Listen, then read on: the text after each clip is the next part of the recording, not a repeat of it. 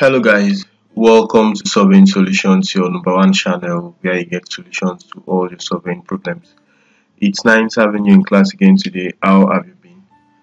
We are going to show you how um, you can work with templates. You know, when you want to make maps, it's expedient that um, you haven't moved your data to the map canvas. Actually create what um, a print layout, right? Good. So you go to project sorry you go to project then you come to new print layout right? Or you just use them um, control p. So when you click on that um, new print layout you are let's say um, requested to just give it a name or you are supposed to give it a name. Let's say let's just give it that um, that wws right? Good. Then you click on ok. So upon doing all of this you have what? You have your new print layout. Then you can decide to change the page properties. Let's say you don't want to use a4 you want to use a3 or you want to use um, a2 or you want to use um, a0 but let's keep that a3 then the orientation you don't want to use landscape you want to use portrait or you still want to use what? Landscape right? However you can still um, modify the size of your paper um, with these um, their constant values by yeah.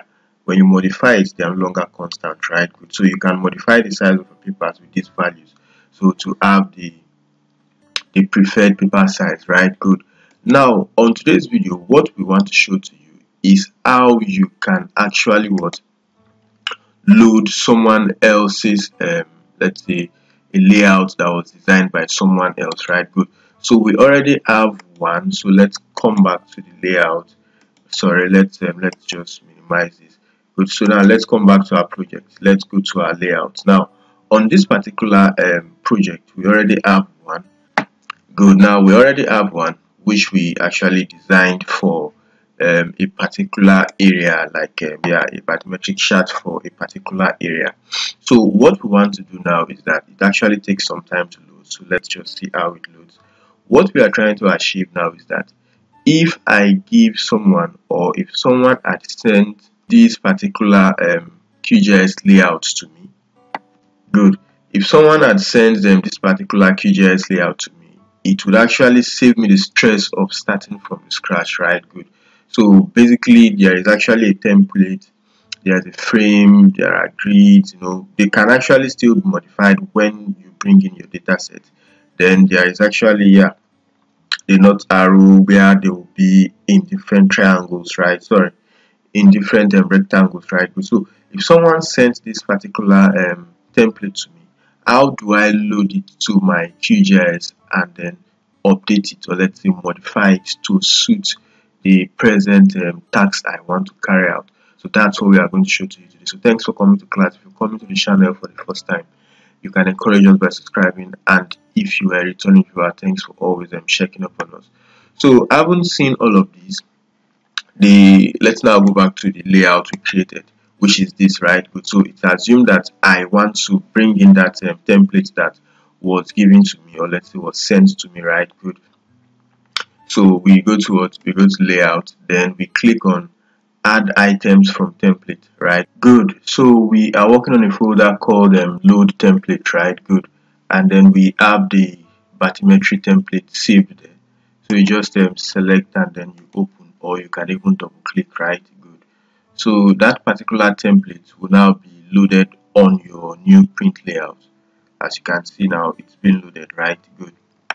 Now the essence of actually getting a template from maybe a design template the essence of loading a design template is that maybe if you want to work on similar projects so you can have uh, maybe study area templates or any other templates that you can always reuse again right good so when you have um, a template like that, all you need to do is to just maybe if you have to change the paper size, maybe modify the paper size, this is A3, right? Good.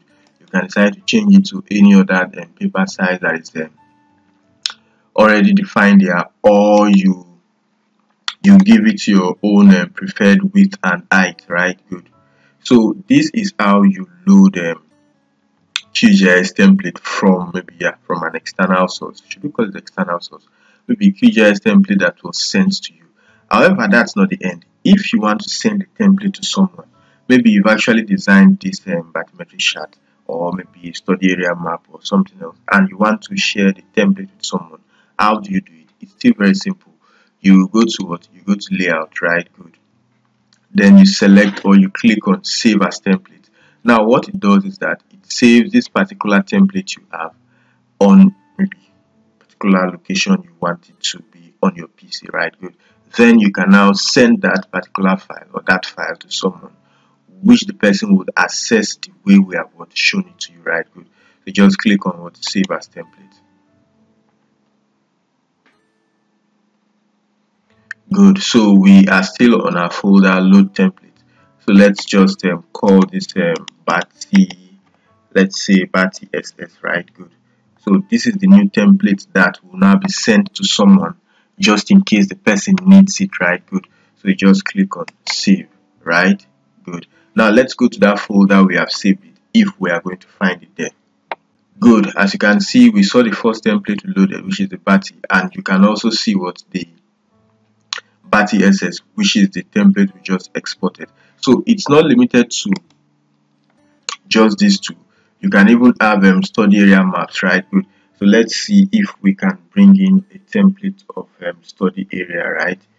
So good. Now, um, another very important thing to note is that um, the paper size is very, very important. So let's say the you don't know the size of the template, paper size of the template that has been sent to you. So let's say you left it by default at um, let's say at A4, right? Good. And you try to bring in a particular template, right? Good. So you know the drill, right? You go to layout, you go to um, add items from layout, right? Good. So we have one um, template here which is for study area. So just double click and it loads good. So we have what the template for the study area. However you can see that you need to do a good number of um, modifications. We can see multiple um, scale bars there. So you can just um, delete them and then add your preferred scale bar right? Good. So let's see this last one. So this is how you actually um, load um, QGIS map template so this is for maybe this is for Nigeria this is for the states then this is for maybe the local government or the region or maybe the actual project area right? Good. So you can just decide to the all the layers were locked. You can see they were all locked. So you can decide to what unlock each of the layers and update their contents accordingly right? Good. So upon updating their contents accordingly you can also see a few things to do on the what on the grids and uh, some other elements of the map so this is how you load them QGIS map template and then how you can also export which we have um, shown to you earlier. So thanks for how you can save the templates which you can actually share with someone else. That's what we mean by export right good. So thanks for coming to class. We hope we've provided solution to this particular surveying GIS related problem.